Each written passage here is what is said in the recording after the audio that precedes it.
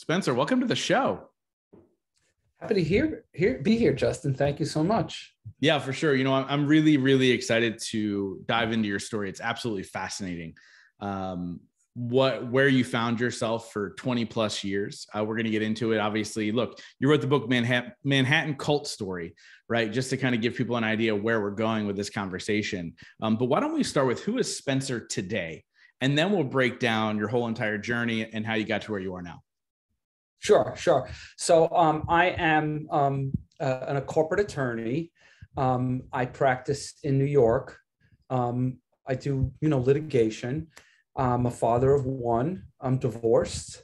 I um, have a dog named Stella, and my favorite pastime is uh, swimming. I became uh, an ocean uh, long distance swimmer. So I'm around Manhattan, and that's kind of my passion. And um, that's where I'm at.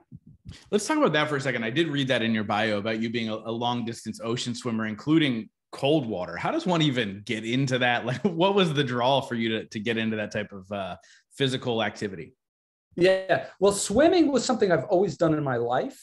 And um, when I got out of the cult, actually, it was something that I re uh, uh, discovered as something that, that I really like to do. And I found a community there. And, um, you know, I just started to swim and a lot of people started, you know, in, in New York, actually, there's a lot of long distance swimmers. So I mm. started with a one mile swim and, you know, I heard about people doing, you know, around Manhattan. So I did the training and, um, you know, I have the aptitude for it. It's very um, meditative. It's slow. And you'll find that a lot of you know, uh, long distance open water swimmers, they're older. So this is not like, you know, pounding on pavement or something like that and no huffing and puffing. Um, the cold water swimming started because I t- attempted to swim um, uh, to Block Island from Montauk. I got halfway there and I just was too cold. Um, so it was recommended that I try, you know, cold water swimming, which means swimming in temperatures that could be down to, you know, 32 and um, yeah so uh, so i um, started you know I, I started you know basically i just started in september and stayed in the water until the next summer wow that's fascinating that's fascinating so do you is there any like breathing techniques when it comes to swimming in that type of temperature? Like, because here's the the honest truth. Like, we go to the Jersey Shore for vacation. I'm in Pennsylvania, so we go to the Jersey Shore for vacation. It'll be like August, and I'm like, water's too cold. And so, so what is that process like? Is there is there a mental kind of uh, approach to that? You hit the nail on the head. It's all about breathing because you uh, will immediately lose your breathing in cold water. Um, and so it's really about knowing enough that you you will recover your breathing in about 60 seconds. So you'll hyperventilate for a while. So it's really uh, you know a meditative skill of understanding um, what your body can do and knowing it will survive. Um, yeah. And then after about a minute, you become numb. so I'm sure. It, I'm sure. Very, it's very doable. Yeah, yeah. Yeah. So, so anyway, it's a great. No, yeah, no, no, I love it. And just go ahead. No, no, no. I was just saying it's a great sport. I really enjoy it, and there's a great community of people who do it. And um, happy to meet you sometime in Jersey Shore. Yeah, they, it's a lot warmer down there, at least this time of year. That's the only time I'm potentially getting in the water. But you know, with that being said, obviously, look, you know, people hear this, right? You you uh, surround yourself with amazing people. You put yourself to a challenge every single day and swim long distance, and you're a successful attorney in New York City, which is one of can be, you know, you can make it in New York, you can make it anywhere. Um, but but you found yourself in a cult and i'm going to start probably where a lot of the conversation starts when you talk about this with people i imagine it you know my thought process is how could you find yourself like how do you end up in a cult right? Like i would think i'd see all the signs i wouldn't get sucked in like and i imagine this is what most of the world is thinking that hasn't been in your shoes.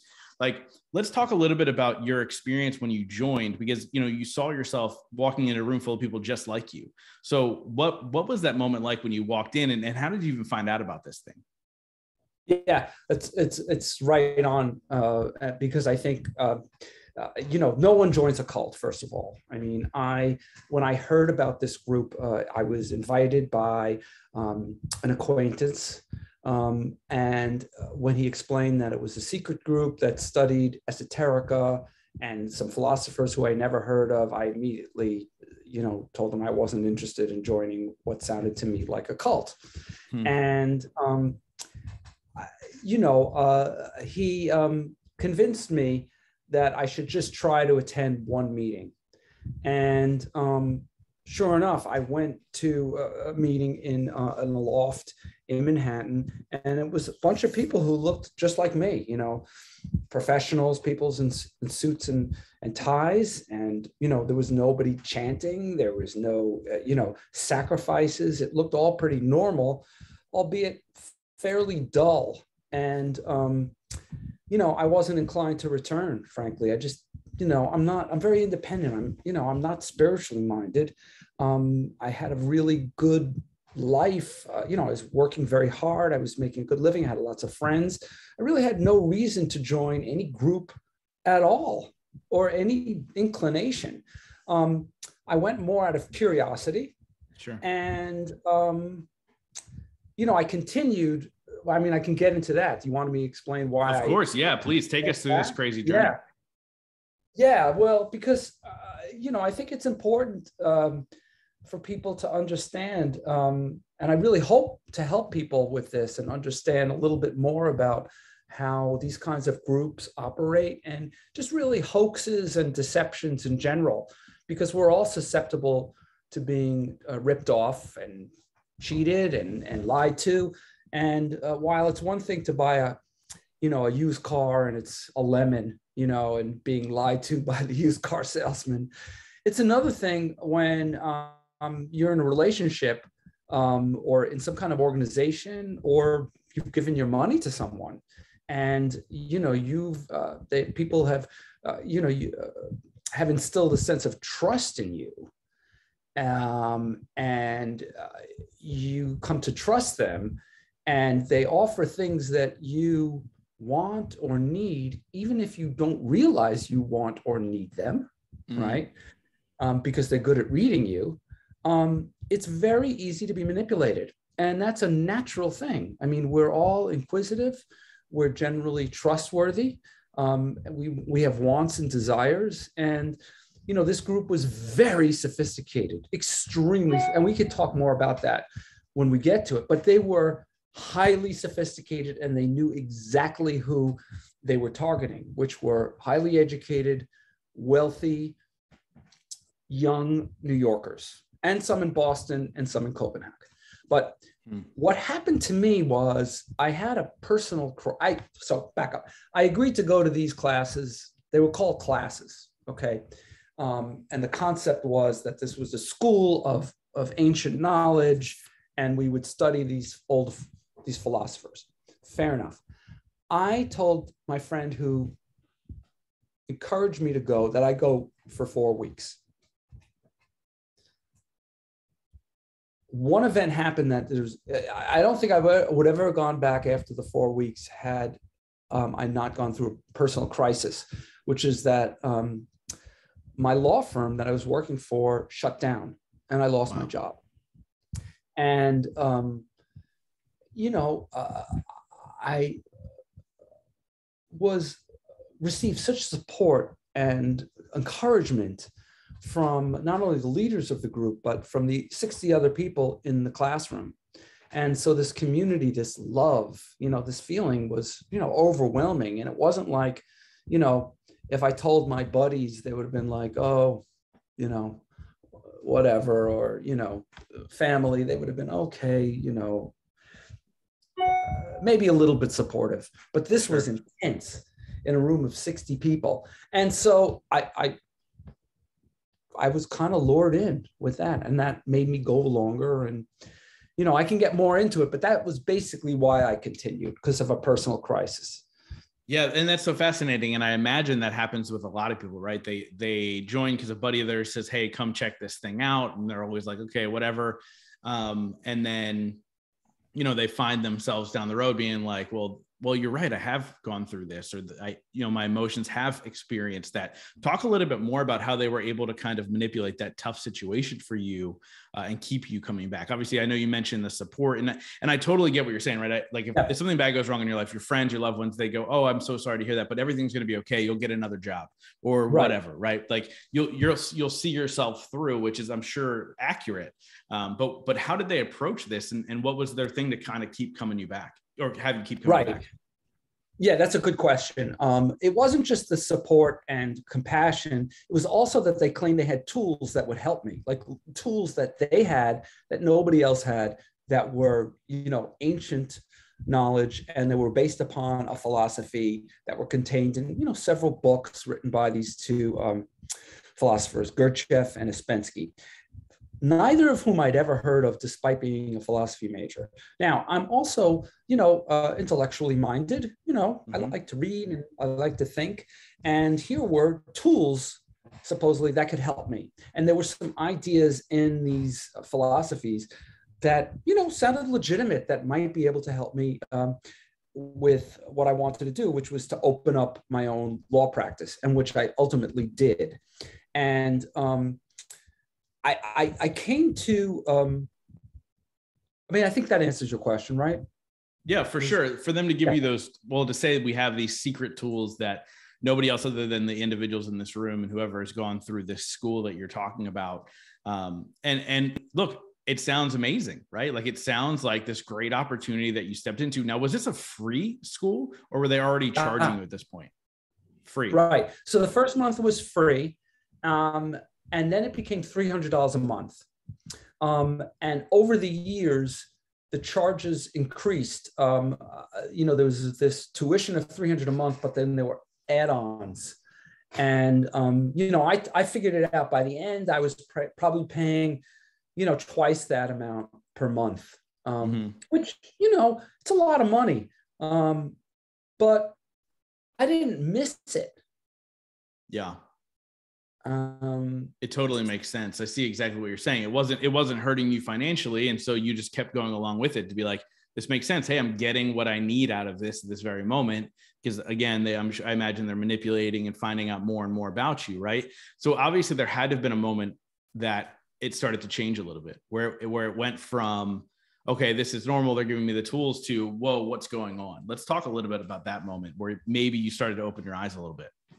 Yeah so um, what what happens is when let me let me put it in context. When that moment happened, it was about a year or so in, and by that time there was a certain amount of dependency and fear and all kinds of emotions involved with the group. The dependency was well, I felt that my successes in my journey in my new um, practice were somehow connected with the tools that they had shown me. So, um, and they made you feel this way, and they oh, yeah. made you feel that if you left them, you would lose that those tools. Okay, so I was I felt dependent and somewhat uh, indebted to them. The second thing was if you left the group, you would be shunned and ostracized, which, by the way, is a telltale sign of occult, telltale sign, um, ostracization. And and yeah. one of the things I've come up with is like sort of this list of nine or so um, hallmarks of a cult. That's one of them. So what happened was by the time they asked me to do something that I thought was weird and uh, imposition, I was I felt very dependent upon them and connected. And that imposition was they asked us to recruit other people and spend mm. a great deal of time, hours and hours and hours a week, and our money. Um, and it went on for years uh, to bring in new uh, students. And um, it was a very sophisticated method of, you know, finding, befriending, and secretly vetting them and luring them into your um, circle of trust, and then springing onto them this idea of a group that was very secretive. I mean, that's the whole um, important part is that it was secret. So you couldn't just tell anybody about the group. You had to be able to vet and make sure they were trustworthy. Yeah, so it's like it's and, like Fight Club, right? The first rule of Fight Club is you don't talk about Fight Club. right.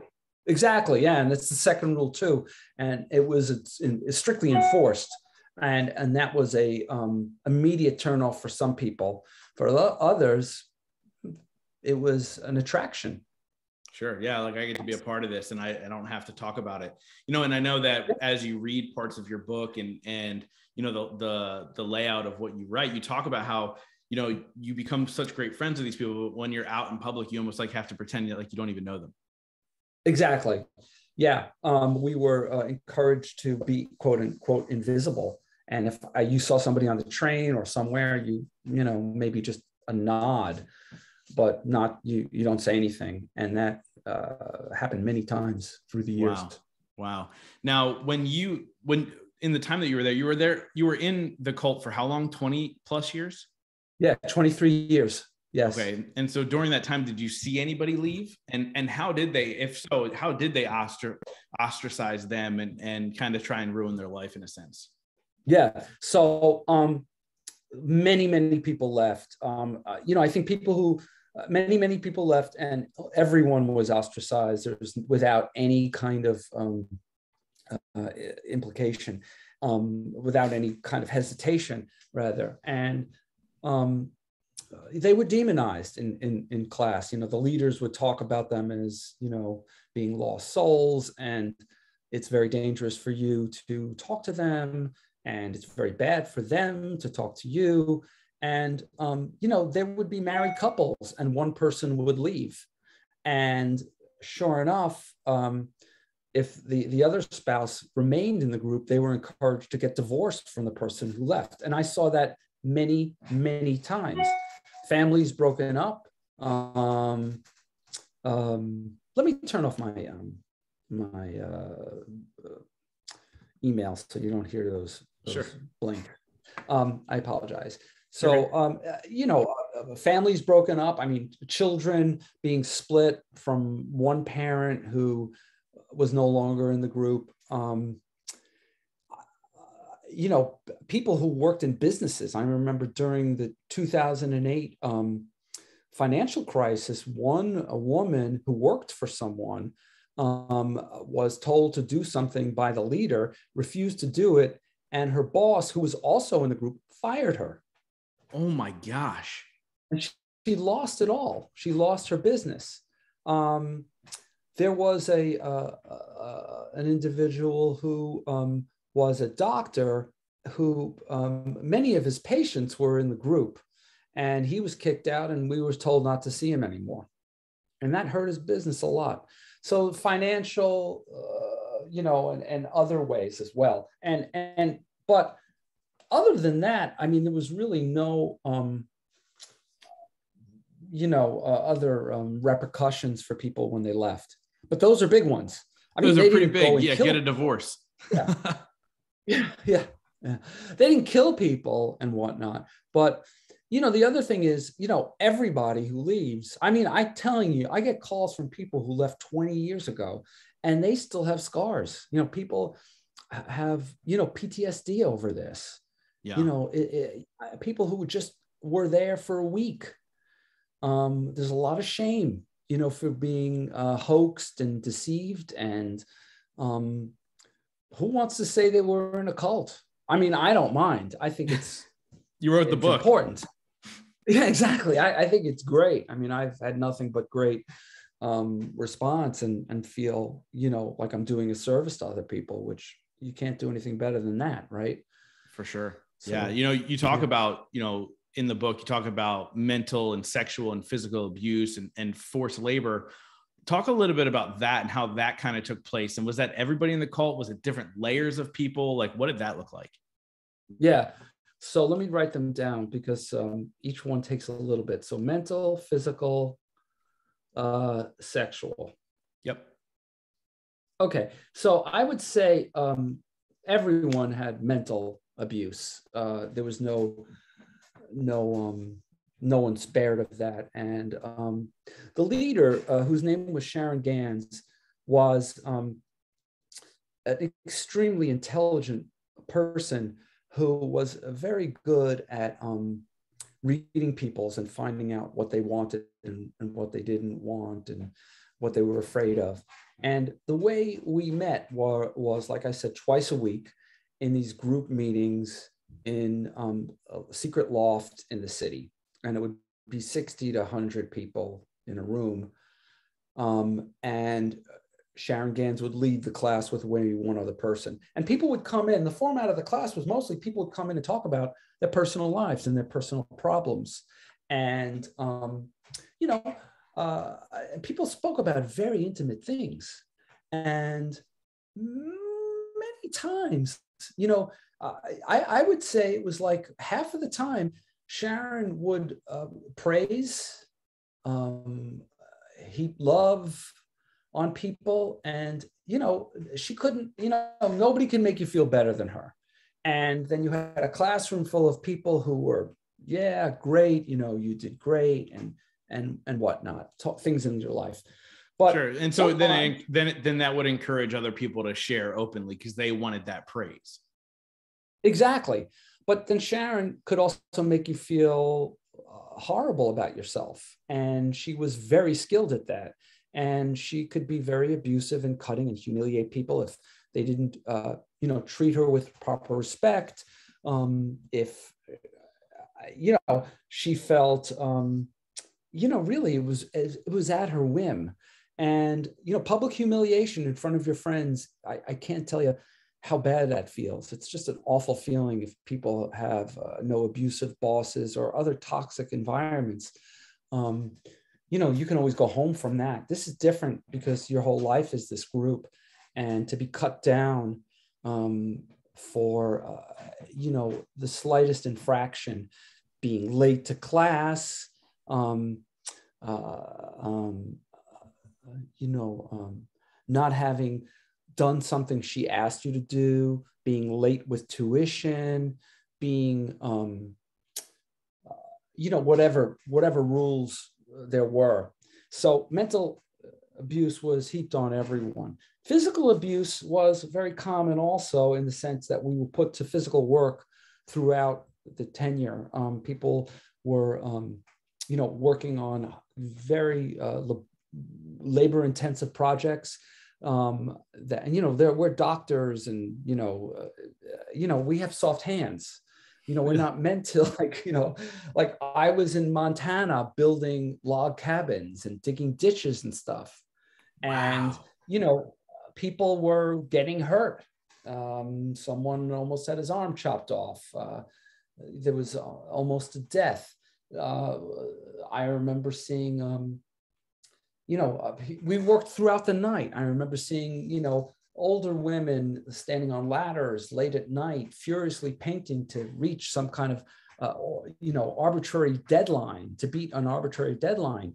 Um, and then there was this boxing that we did, which I think was reported in the paper the other day in terms of uh, Fight Club. So we had this. Uh, we had this uh, that one of the, they wanted us to um, that wanted the men to learn how to box the concept being that it builds character and whatnot, and it's a great sport. And it's true.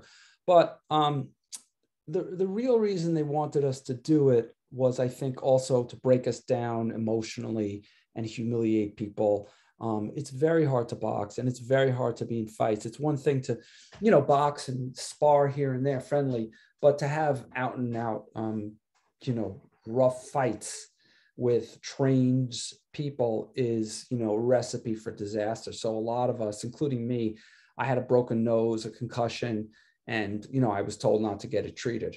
You know i was told to tough it out. Um, you know wow. this is this is not proper um, yeah. they were real all- quick really quick let's go back. What were you building log cabins for in montana? oh yeah yeah. Oh yeah yeah yeah. So the leader sharon gans and her husband whose name is alex horn who's also passed away, they um, had a 120 acre ranch in Montana, and they invited some of the wealthier members of the group to come out uh, in the summer for a couple of weeks at a time and work on their ranch and help build, you know, help build and maintain the property. The property was built um, literally by six people in a Montana winter um, in you know nine months. I think they worked you know like 20 hour days to build the cabins. But later on when the group got bigger she had something like 60 people come out over the summer throughout the summer uh, uh, and we would do this very hard physical work. Um, wow yeah it was an intense period and that there was a lot of abuse a lot of physical abuse besides the building. You know alex used to beat people up um, uh, and then i could talk about the sexual abuse. I mean that really i saw that in montana you know i saw you know women being coerced to you know have sex with men. Um, and and let me explain what what i mean by the coercion mm-hmm. uh, it wasn't like a uh, it's i mean i think it's rape just the same in my mind um, not violent and, and physical violent but rape just the same because i don't think it's consensual when you're in a cult or in a group and you're brainwashed and the leader tells you, oh, you should have sex with Bill or you should have sex with Johnny. I think that's sexual abuse. 100%. Um, when I saw it, I didn't. I didn't really understand. You know, I thought, oh, this is good for her. Mm. And that would happen with men too. There would be that kind of abuse of men. Um, gay men were encouraged to uh, sleep with and marry straight women. That's abuse wow. for both sides. Um, there were many arranged marriages. I was in one. Mm. Um, Sharon encouraged incest and generally polyamory, which is, you know, just intermarrying people. So um, that was uh, the scope of, of that. Um, it's yeah. just it's absolutely unbelievable and like you said when you're in it right. And i'm so glad you're sharing this story because it's it's it's an important thing to share with the world because there are so many people that find themselves in these types of situations. And when you're in it it's almost just like okay well this is just this is just part of the process. I'm i'm doing this as a favor. I'm doing this to help myself. I'm doing this to help the community. And it becomes so much it's almost like i, imagine and i'm speaking out of turn because i've never been there but i imagine it's like being an out of body experience when you look back. Totally you, you you really it is out of body because i look back and i can't believe all this happened but i can also understand where i was at and where other people are at. I mean you think you're made to think that these things are in your own best interest. And that's why one person with such power and one person you know leading hundreds of people can make these outrageous demands. Um, um, uh, because people are just uh, you know uh, duped yeah. and uh, afraid. Yeah. So, uh, you know, I did, I, I did a little bit of research and, and, now I'm forgetting her name, the leader, Sharon, is it Sharon? Yeah. yeah Sharon, so Sharon she was an, she was an actress or something. Like, how did this even like, have you done the research to find out where this even started? I know she's now passed at this point about a year plus ago, but right. have you done the research on, on what her thought process was behind all of this? Yeah, so she was an actress in the in the '60s. Um, uh, you know, she was in avant-garde theater um, in New York, and then I think she was in one movie, Slaughterhouse Five, in early '70s, and then she disappeared from acting, and um, she was married with uh, two children, and then met a man named Alex Horn. She left her husband and her children, moved to San Francisco. She, this was all in New York, where she originally was. Moved to San Francisco and Alex was already involved in sort of cult um, practices. He um, uh, had um, uh, his own sort of commune cult in San Francisco in the 70s with his previous wife and left her and met Sharon. He was much older than Sharon. And they started this theater company because Alex was a, a playwright and they started this theater company in San Francisco called the Theater of All Possibilities, that which was really a cult. Um, they forced uh, members to sell tickets to their horrible shows, and um, there was, you know, a lot of allegations of abuse. The same thing that they did in New York. And when there was an article about them in the San Francisco Chronicle, they went undercover. They left San Francisco. They came to New York, and they rebranded as this esoteric school, but was completely undercover. So when I joined in 1989, they didn't have this thing called the internet. They didn't have this. I couldn't look it up. Yeah. If I wanted to, um, which I did, but there was no way to know any of this stuff. Even now, the group continues. Even now, it's almost impossible to find them because they don't say who they are. Yeah. They've changed their name. They've they're very secretive and they still exist. Mm, that's that. I was going to ask you that. You know, with with the two original leaders gone, it has obviously been passed on. Is it passed on to the next generation? Like, do we know who's running it now? Like, that's crazy. Yes, yes.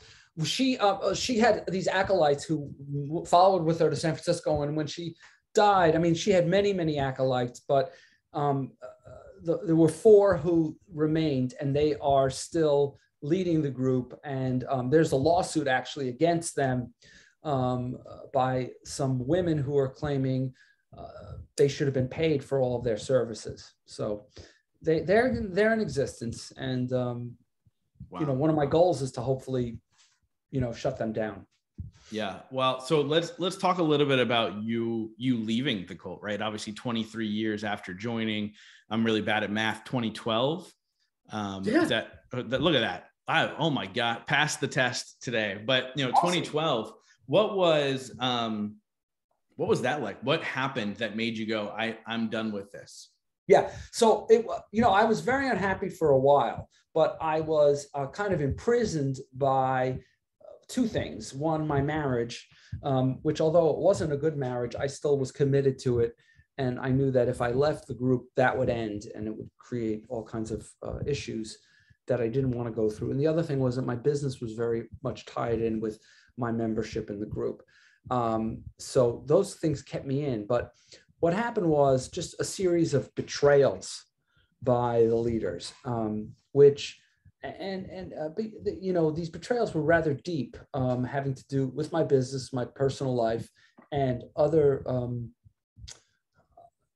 you know aspects of control that really just they just I just felt like these people were not in my corner anymore, and were actually didn't give a crap about me. So mm-hmm. that's what led to me wanting to leave and then a, couple of events just you know broke the straw broke the camel's back. And sure. um, you know that's what happened you know it, it, happened very quick. No for sure which you know obviously as you were like I, I, imagine there was a fear there when you were when you were leaving you know the, this situation. How did they kind of ostracize you? Did it hurt your business? Like what did what did that obviously you're no longer married. Was that all part of it? Talk a little bit about that yeah. So I'm married. I got divorced a couple of years before I left, but um, you know, my business became solely involved with uh, one um, individual um, in, in, the in there, and I was um, counsel for his business. And when that relationship started to sour um, with him, there was less and less of a need for me to be in the group, and I really felt I needed to get out of the group. But once I left the group, um, I was ostracized and that I was cut off from doing business with that guy. So I lost my entire my entire law business just went completely overnight and I was very frightened and you know I was in a very bad emotional state. I was really having a, a nervous breakdown and you know very heavy depression and all kinds of you know problems that needed medical help which I eventually did get but I lost you know all of my um, my business and I had to rebuild. So there was a lot of fear. Yeah, no, I can't, I can't even imagine. So let's talk a little bit about, um, you know, what are some of the signs people should be aware of if they're invited to these meetings and all the stuff? Like, what are some of the, like, what are some of the telltale signs that like, Hey, this could be something different than what they're saying it is? Yeah. Okay. So right out, right out, I'll just say this, like for cult, it's very specific you know but i do want to talk about hoaxes in general you know people who are deceived you know because there's there's there's a common element i mean even people like who put money in madoff right yeah. i mean he was like a cult leader or theranos you know that story the uh mm-hmm. uh, that story in San Francisco. I mean, those people there was they almost had, were like cult leaders in their own way. They were able to, you know, um, um, convince very intelligent people um, to, you know, ignore common sense and follow an emotional belief that was frankly usually too good to be true. I mean, Theranos, the concept that you could, you know, tell, you know, make great uh, strides and understand people's, you know, diseases in a pinprick of blood is just, you know, any scientist will tell you that that just doesn't exist. Yeah. But when you had a lot of people behind that, uh, you know, and people wanted to make money and you want to be the next big thing and, you know, that's when you have to stop think you have to start applying common sense and rationality to it. So i would say the first thing is when you're invited you know the telltale signs of a, of a cult is a charismatic leader. Um, if people are putting this person on a pedestal saying they're the greatest thing or the smartest thing that's a problem if the group ostracizes people that's a problem. If there's high demands made on people um, uh, and promises of, of, of future uh, improvements without seeing anything you know there i think that's that's a, a cultish. Um, uh, this sort of mania if you see people you know are very uh, enthusiastically over enthusiastic about things you know? Yeah. You, you just feel it you know you know it's cultish and um, sure it's also if you're in a vulnerable place i mean if you're depressed or lonely or you've had a, a life crisis that's a time when you might be susceptible to it.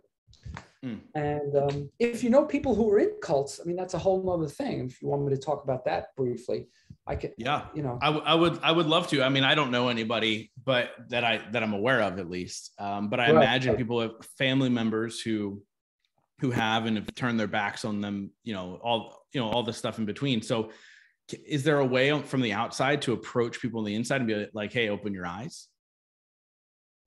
yeah i think it i think it takes a lot of patience and persistence and love and compassion i think the hard you know uh, pushing someone uh, it doesn't work coercing someone doesn't work most people who are in cults are brainwashed and very gaslighted into you know their beliefs and they're also told that people outside are there to hurt them.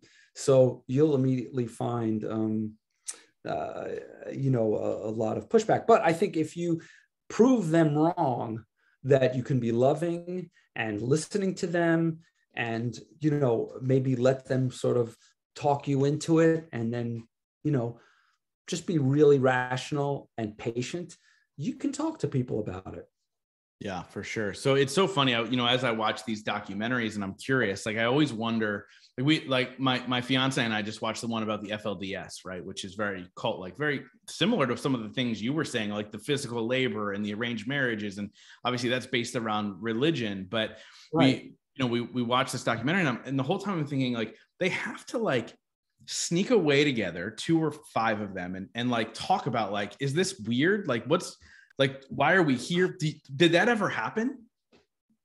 Uh, yeah, it did. It did. There was one time where um, we were very upset by something that Sharon did, and there were a lot of people got very, very angry, and we plotted to leave. And um, there was probably about twenty of us, and uh, we said we got to go. And then I think at the end of it, only like a third of us actually left, and the rest stayed. Um, wow. Because you know the power was so strong, and Sharon reached out to us and convinced us it was a good thing for us to stay and the people who were plotting were you know were bad. So wow. it's really hard yeah i, I mean I, again I, I can't i can't even imagine. One more thing you know to yeah. to talk about here before we get yeah. before we wrap up you know yeah. obviously this whole thing costs a lot of money. And you know i don't well what, what let's talk about this. What was the total number of members ah there were a few hundred at a time. Okay. Um, if you want to know how much she was pulling in, um, she was pulling in uh, in excess of a million a year in cash. People paid cash, um, and you know, I, I do not believe she was paying her taxes. I, I imagine I imagine not because you know you think about like this big ranch out in Montana and you know building things on top of that and you know there's got to be a ton of money now, and I imagine there's some other stuff that they did to get lump sums at certain times from people and, and stuff like that. Am I wrong by saying that? Yes, absolutely, 100%. That happened all the time. So in the ordinary course, there was just millions, but a year just. But people bought her an eight million dollar apartment at the condo uh, at, the plaza. She lived in an eight million dollar apartment uh, overlooking Central Park. Wow, wow! People and just the members, the members just bought it. Yeah, she asked certain very wealthy people to do that, and they did. Um, uh, she had cars. She had access to a private plane. Um, when she didn't have access to the private plane, she got tickets bought for her. She had chauffeurs. She had doctors. She had um, uh, massage. Uh, she had you know people giving her luxury items all the time. Wow. Um, I was her chauffeur for a while that is just so crazy. I mean, I can't even imagine, you know, finding yourself there, man. But but obviously, you know, kudos to you for seeing the who you truly are and being able to step away from that. I think that's beyond powerful. And I hope people read this book and hear your message and they go, hey, you know, I need to, and number one, if they're not in that situation yet, to be aware of that there are more and more every single day people trying to do this type of thing, whether it be a small Ponzi scheme or something massive like this like you have to be super aware. So uh, you know thank you so much for for obviously sharing that information but let's get to the important stuff before i ask you the final question that i ask everybody.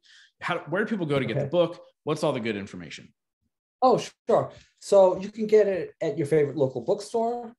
Um, you can get it uh, at any um, um, uh, online um, retailer your favorite one. And um, it's on sale right now and you know i love it. uh, look listen if you're listening to this episode go get the go get the book. I mean uh, it's absolutely fascinating to to hear the stories and see it unfold and and you know in in real time through your life. It's absolutely amazing. So like i said i wrap up every single interview with the same question. The show is called the growth now movement. So that question is in your life and everything that you've been through. What has been your biggest moment of growth the biggest moment of growth was when I realized that freedom exists in the mind and that no one can control your mind except you know yourself.